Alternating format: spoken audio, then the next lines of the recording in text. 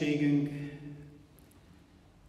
ünnepi Isten tiszteletünk megáldása és annak megszentelése az örökkévaló Istentől, aki Atya, Fiú és Szentlélek, teljes szent háromság, egy örök, igaz Isten. Amen. Csendesedjünk el és imádkozzunk. Mennyei Szent Édesatyánk, magasztalunk téged azért, hogy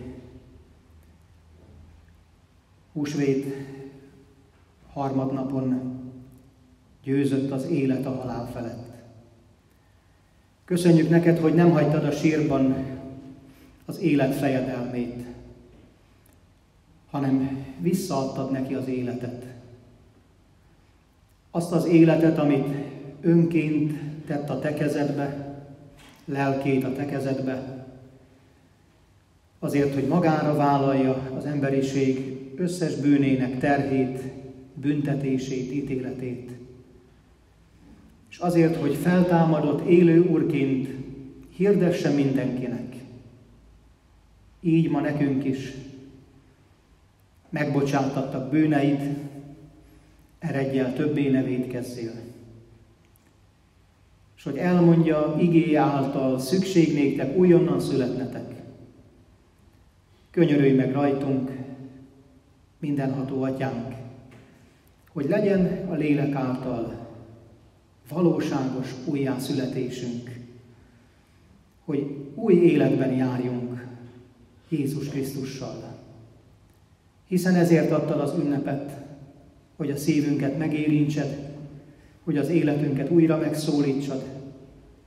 Hadd kérjük, hogy jöjj velünk, jöjj a hajlékunkba, az életünkbe, hadd legyen a szívünk szállása a Te csodálatos kegyelmednek. Hallgass meg imádságunkat, áldj meg minket szent igéddel, mert a Te igéd igazság. Jézus nevében. Amen. Szeretett testvéreim, kedves gyülekezet, helyünket elfoglalva hallgassuk meg Istennek szent igéjét, amely szól hozzánk a Lukács írása szerinti Szent Evangélium 24. részéből, a 24. fejezet 13. versétől a következőképpen. Tanítványai közül ketten aznap egy faluba mentek, amely Jeruzsálemtől 60 futamnyira volt, és amelynek Emmaus a neve. És beszélgettek egymással mindarról, ami történt. Miközben beszélgettek és vitatkoztak egymással, maga Jézus is melléjük szegődött, és együtt ment velük. Látásukat azonban valami akadályozta, és nem ismerték fel Jézust. Ő pedig így szólt hozzájuk.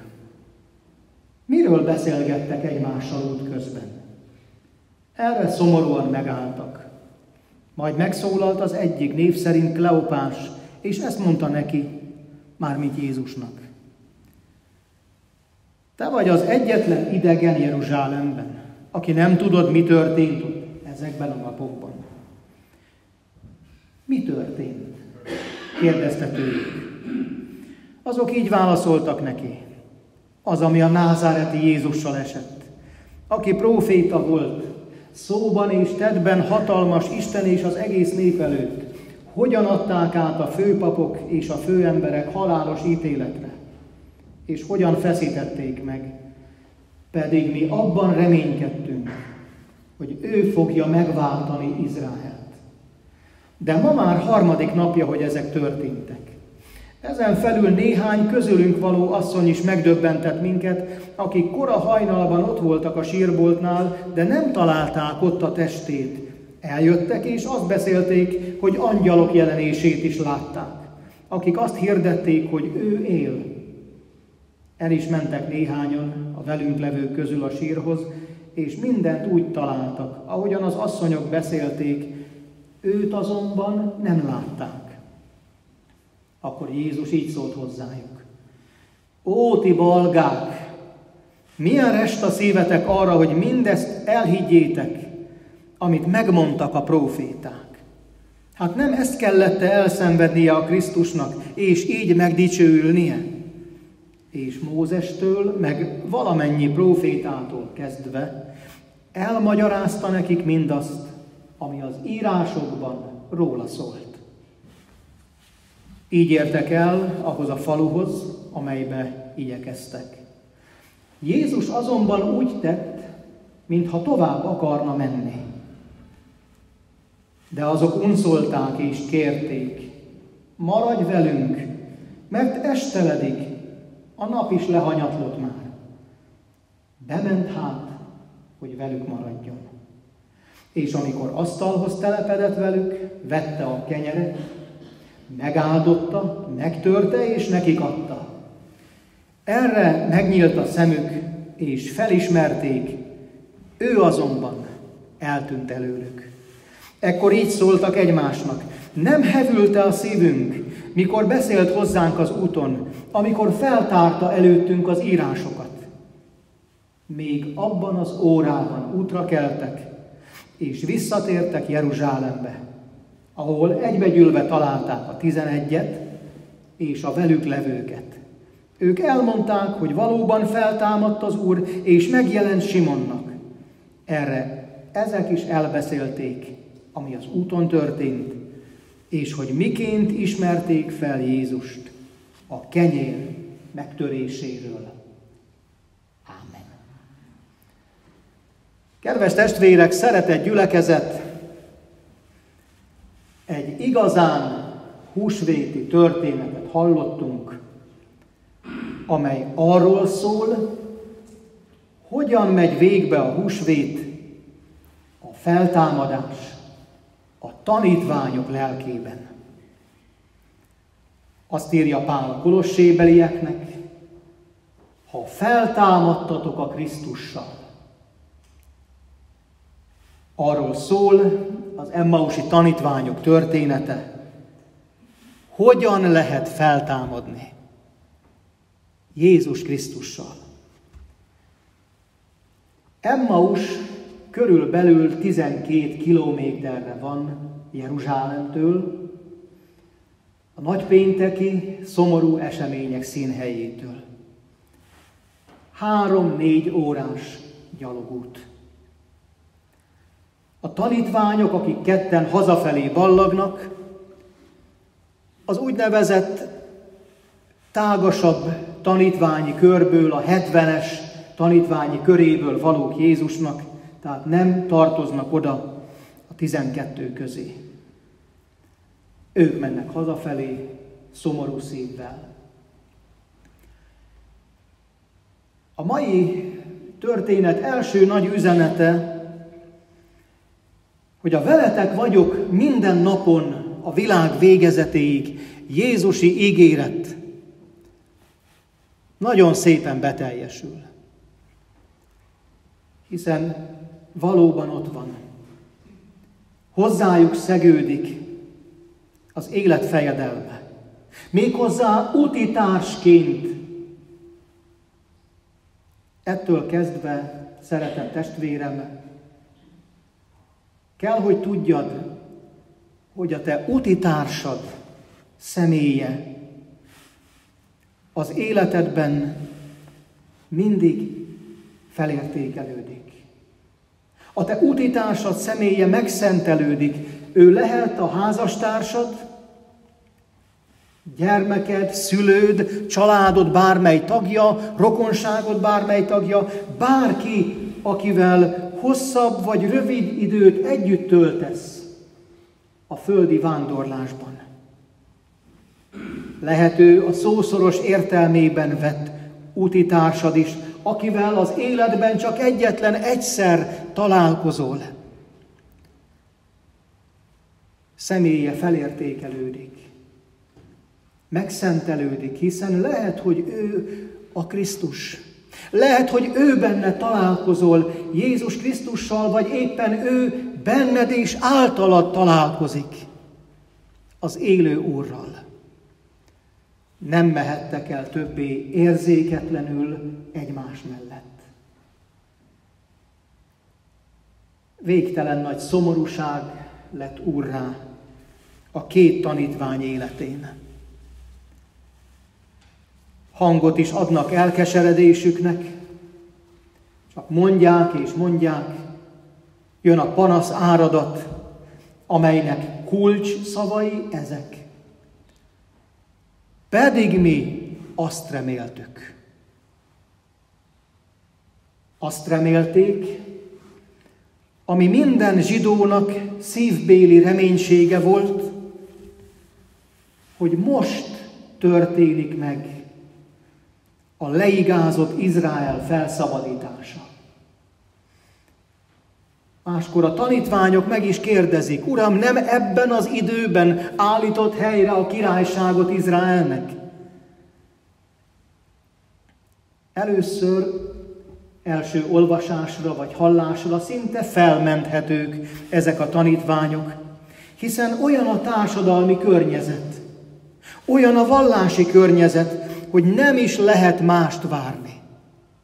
Hiszen Izrael leigázott ország, a római birodalom vazallusa, a nép elnyomás alatt él, ez a társadalmi környezet.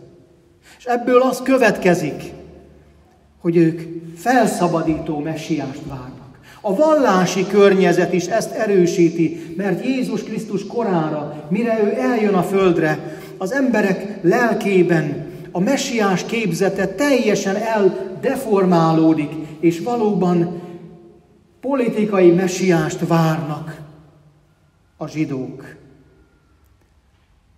De valójában mégsem menthetők fel ezek a kesergő emberek, hiszen tanítványok. Noha a tágasabb tanítványi körhöz tartoznak, ők nem voltak annyit Jézussal, mint a tizenkettő, de megérthették volna ők is, hogy Jézus az elveszített belső szabadságot kívánja helyreállítani. A zsidóság a kiválasztottság gyermeki állapotából, kegyelmi állapotából esett ki, és zuhant bele a kirekesztés kegyetlenségébe. A római birodalom súlyos rabigája ennek csak a következménye volt. A legsúlyosabb terhet az Isten nélküliség állapota jelentette számukra. A legdurvább bilincset, a bűn és a halál bilincsét akarta leoldani róluk Jézus, hogy a szeretet által megváltott nép induljon el majd kivívni evilági függetlenségét, és nem fordítva. És nem mások kárára tegyék, ahogy ezt az Ószövetség véres küzdelmeiben cselekedték, hanem mindenki javára. Mert az igazi szabadítás az mindenki javára történik. És így szolgálja az Úr dicsőségét. Vajon nem belső készületlenség, nem durva és vad ösztönök miatt buknak el sorra népek szabadság küzdelmei? Mert nincsen boldogság sohasem mások boldogtalansága árán. Itt is érvényes az ige.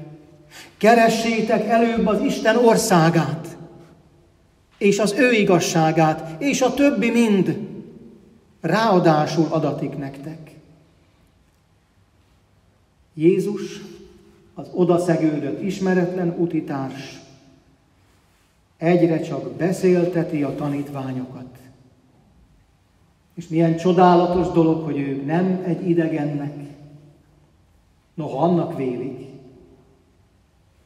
de Isten fiának beszélik ki a szívük legmélyebb érzéseit. Ha tudnák, hogy kivel beszélnek, akkor lehet, hogy nem lennének ennyire őszinték. Lehet, hogy akkor azt mondanák, amit szerintük Jézus hallani akar. Amit szerintük Jézus hallani akar. Mert ahogy félreismerték az Istent, éppen hogy félreismerték az Isten fiát is. De mikor a szívüket kiöntötték egészen, akkor Jézus megszólal, és elkezdi kibetűzni számukra a Szentírást.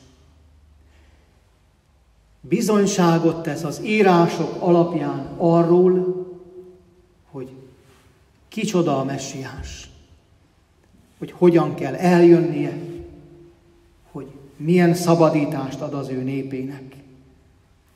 Milyen csodálatos dolog, amikor maga Jézus magyarázza az írásokat, melyek róla szólnak.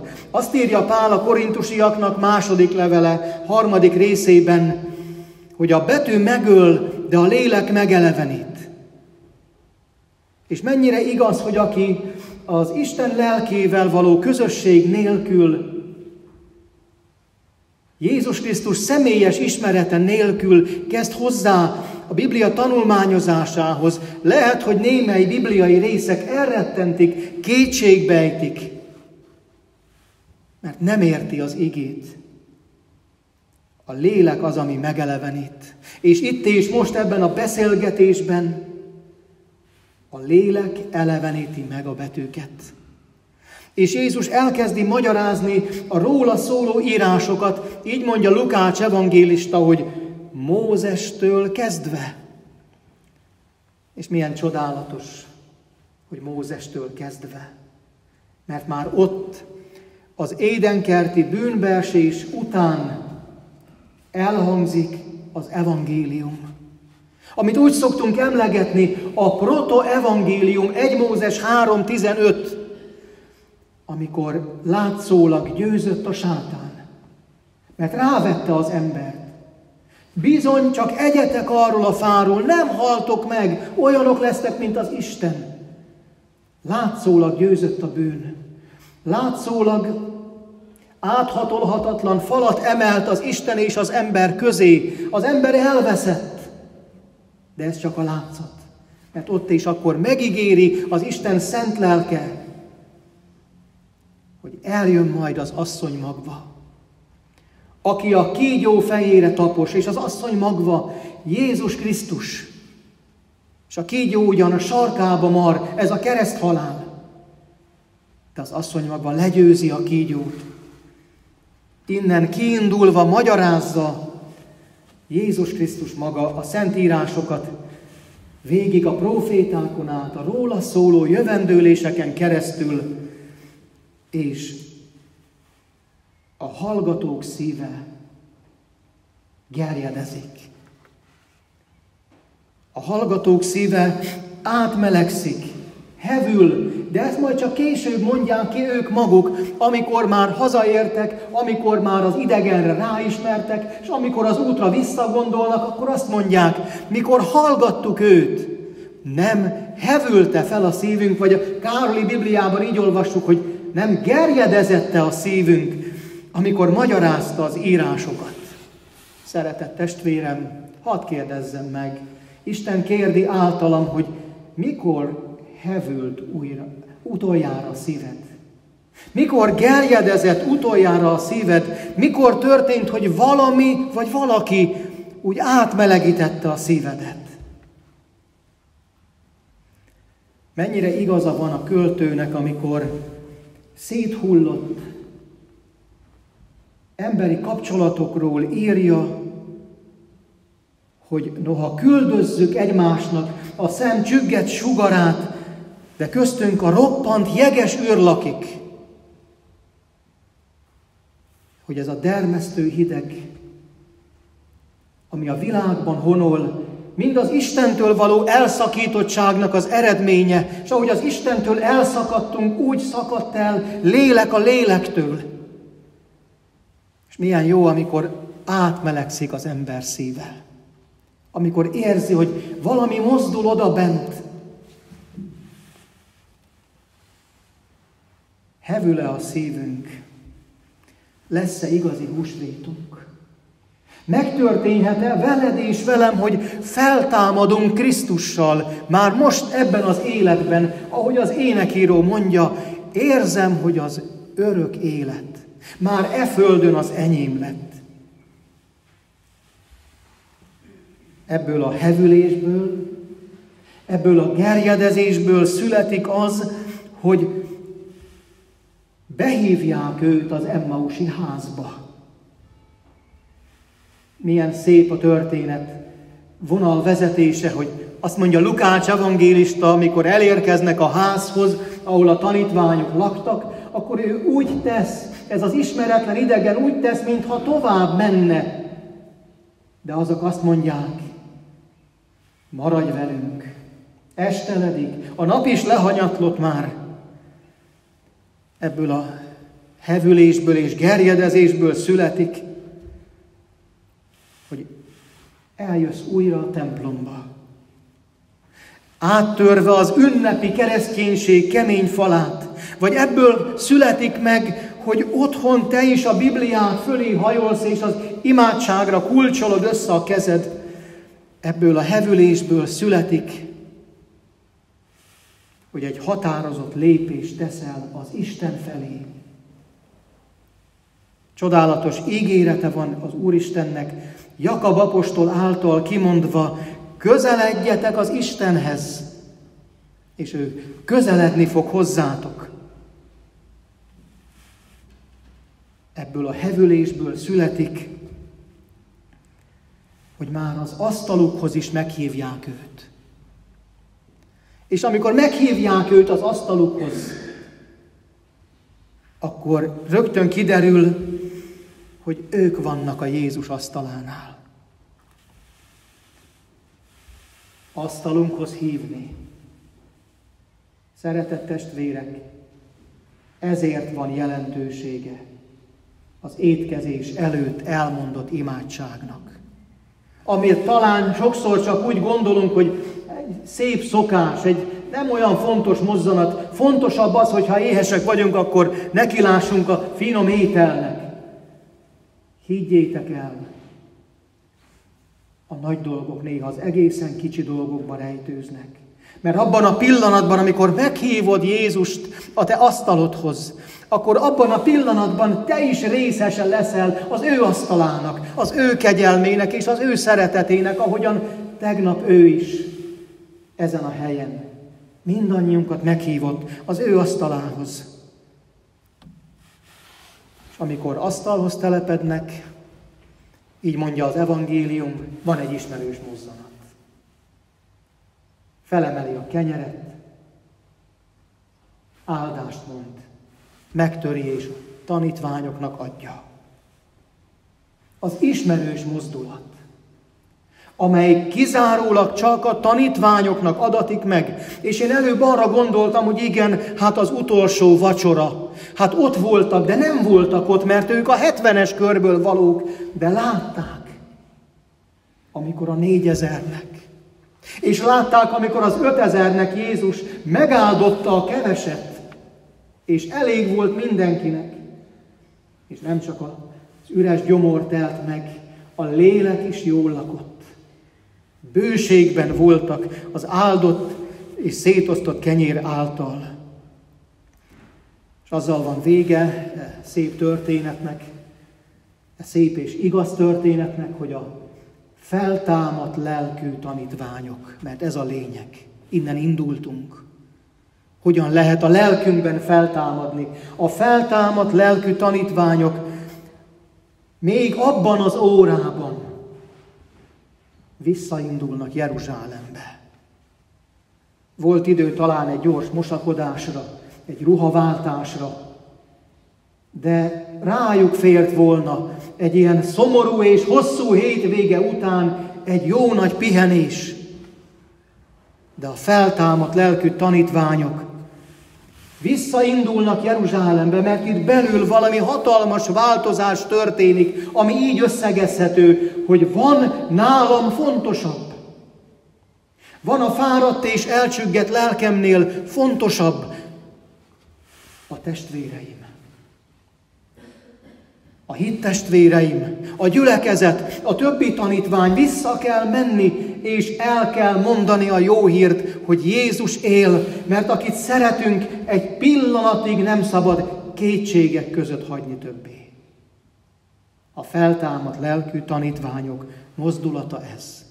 Visszamennek, ez az út már nem tart három óráig, egészen biztos, hamarabb visszaérnek, a jó hír viszi őket, és elmondják, hogy találkoztunk az élő Úrral, és amazok megerősítik, hogy mi is találkoztunk vele, és a hitük összeadódik, az örömük még nagyobb, és születik két tanítvány. Kettővel többen vannak, akik az Urat teljes szívükkel magasztalják, és a hitüknek ereje van, amely kiárad. Szentlélek Úristen cselekedje velünk, hogy lelkünkben feltámadjunk. Hogy az élő Krisztus megragadjon, a szívünk gerjedezzen és lángra lobbanjon, és eldöntsük itt ezen a helyen. Szeretnénk vele járni. Szeretnénk, ha minden napunk boldog bizonysága lehetne, velem vándorol utamon Jézus. Ezzel a hittel áldjon meg minket. Az örökkévaló Atya, ne csak húsvétkor, az élet minden napján, hiszen így mondta az ókori egyházatja, Atanázius, hogy a feltámadott Krisztus az ember életét vég nélküli ünnepé teszi. Így legyen. Ámen. Jöjjetek és válaszoljunk az ige megszólító szavára imádságban.